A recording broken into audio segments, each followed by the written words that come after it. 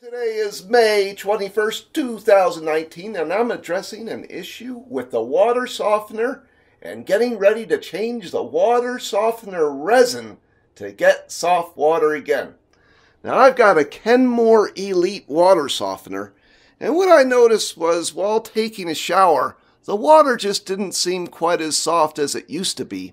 The water softener is probably, I don't know, about five or ten years old. We use a lot of water to um, fill the swimming pool, and I bet that's the reason why the resin has gone bad. I sampled the water um, with the uh, water softener disengaged and found out if you look at this little scale, it had somewhere, I don't know, around 425 parts per million hardness. And then I sampled the water with the water softener engaged and found it was somewhere around between 50 and 120 parts per million. But that wasn't quite enough for me to say it was soft enough, and we decided to change the water softener resin. So here we go. All right, here's the situation with the water softener. It's a pretty nice water softener. It's called a Kenmore Elite water softener. You notice that the panel's off because I unplugged the water softener. That's probably the first thing that you should do if you're going to work on an appliance. And I've got the water softener. I've got my tools down here. I've got a bucket to put the old resin in. And I think we're ready to rock and roll with changing the resin in the water softener. And the resin's right in here. So here we go. Oh, this is going to be fun.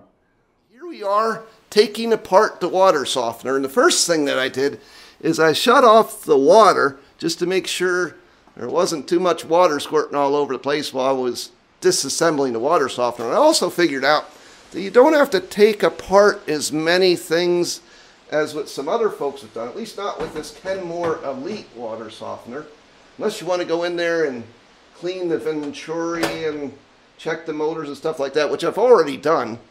Uh, so you take off the lid, you disconnect the water from the water softener, which I did back here, and then you just take off the motor unit so you can expose the resin tank. And the next step will be in just pulling the rest of the top off and taking out the resin tank. So here we go. Well, I took off the top and very gently put the motor and the lid down uh, on a um, on a bucket there because it didn't reach all the way down because of the electrical cord and so on and so forth. And then uh, I disconnected the overflow tube. There's an overflow tube back here, and um, I went ahead and disconnected that so that we would be able to pull out the whole water softener unit. There's the resin tank, and I have a feeling it's going to be pretty heavy. So I'm going to exercise a little bit of strength and pull out the water softener and put it into the driveway to shake out the old resin. I'm just now taking the resin out and look what's coming today ordered by Amazon is the new resin and there's a UPS guy coming in with the resin right now. Yay. All right, we're making progress with removal of the water softener and the resin tank. And one of the things that I noticed was there was a gasket that was kind of worn out in the bypass valve. I learned that because I was trying to turn on the water from just the regular well water down here. And when I did that, this darn thing leaked. So that might have been one of the problems that I had with the water softener is the bypass valve wasn't working. So I replaced the gasket and now we're on to taking care of the new resin. This has turned out to be quite a job because to remove the resin, I had to get something to protect the grass. You know, the resin's all full of salt. That's part of the reason that you have resin in there is it's an ion exchange column to remove the salt. But I removed the resin from the resin tank. There's what the resin looks like coming out of the tank. It looks like it's got some gravel. It even looks like it has some charcoal in it. There's the empty resin tank, and I'm going to clean that out here in just a little bit. And over here is the water softener tank. It's got a lot of salt in it. So I'm going to clean that out. I don't like that old nasty salt. So I'm going to clean it out and dispose of it properly. And what happened while I was working on this is the new resin arrived. And there it is, Ion Exchange resin. And I've got, uh, looks like a 50 pound bag, and then they add a little bit more. There were two packages. There's a 25 pound bag along with that 50 pound bag. I think they do that just for shipping purposes. So I'm gonna clean out this, uh, this old resin tank and put in the new resin. The gravel is in the ion exchange column of the water softener now, and I'm putting in the, uh, the resin. And I thought I'd make a comment about the resin. It sure is a lot nicer looking than the resin that uh, came out of the water softener. The resin that we emptied out, I don't know if you remember, it was kind of a dark blackish brown, and this stuff is a nice tan brown. So I'm kind of liking how this is looking, and I think we're going to have some pretty soft water with this beautiful new resin. So here we go. We're going to finish filling up the tank, not all the way, probably about three-fourths of the way, and we'll be good to go. This is working out very well. I've got the resin all put in. Actually went up a little bit more than three-fourths. Maybe I went about five-sixths the way up the tank. And I've got the head unit to put on and to connect a few wires and we'll see if it works. So here we go, putting the water softener back together. We are at home doing the Hach water test for water hardness. And I've got my young scientist Charles here who's getting a water sample of the water before we used a water softener. So he's got a vial full of water and he's going to put it into this jar. There he is putting it in the jar. And then he's going to get a scoop of the special color reagent. Here's the color reagent. I call it poison, but it's not really poison. Yeah, Charles calls it poison because he knows he's not supposed to eat that stuff.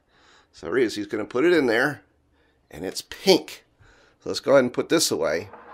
And then he's going to add the titration reagent and count how many drops it takes to turn this from pink to kind of a purplish blue. So here we go. We're going to go ahead and let me go ahead and open that up for you here. There you go. Sometimes you gotta you gotta press really hard to open up that lid. That way it won't all spill out. So there you go. It's all open. Okay. And then he's going to add drops and he's going to count how many drops. So go ahead and start counting. Add drops and count. One. One, two, three, There you go. You're doing pretty good. Four, five, six, seven, eight, nine, ten, eleven, twelve. He's got so far. Turning out to be pretty hard water from our well.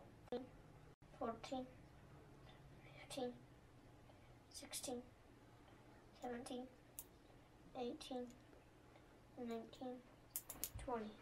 Okay, go ahead and swirl it. No, let's see if it swirl it. Oh, 21. Is it is it is it blue yet? It's almost blue. You can do one more drop. Wait, it's blue.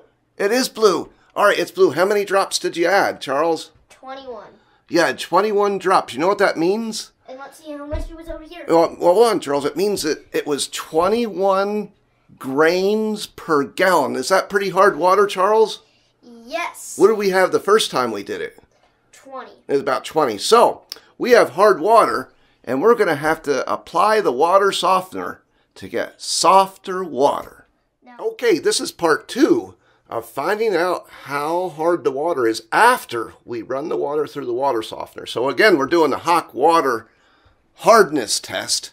And let's go ahead and Charles is getting a sample of water and he's going to pour it into that vial there. Go ahead and pour it into the vial. Now remember, this is after running the water through the water softener. And he's going to get his special reagent here. There's a special color reagent from the Hach water test kit. I call it poison. And Charles calls it poison because he knows he's not supposed to eat that. And go ahead and swirl it around a little bit. Now let's see what color is it. Go ahead and put it down. Purple. No, uh, it's kind of pinkish purple. It looks like the water softener already worked. We didn't have to add very much at all. So go ahead and add some drops. I bet you only need to add one drop because we used the water softener. There he goes. He's adding a drop. Okay, how many did you how many did you add? Three. Three, and it's blue already. So how many grains per gallon is that? Three. Three. Is that less than 20? Yes. And does that mean that the water softener worked? yes. Yay! Can you say yay, Charles? Yay! Oh, All right, it worked. All right, good job, Charles.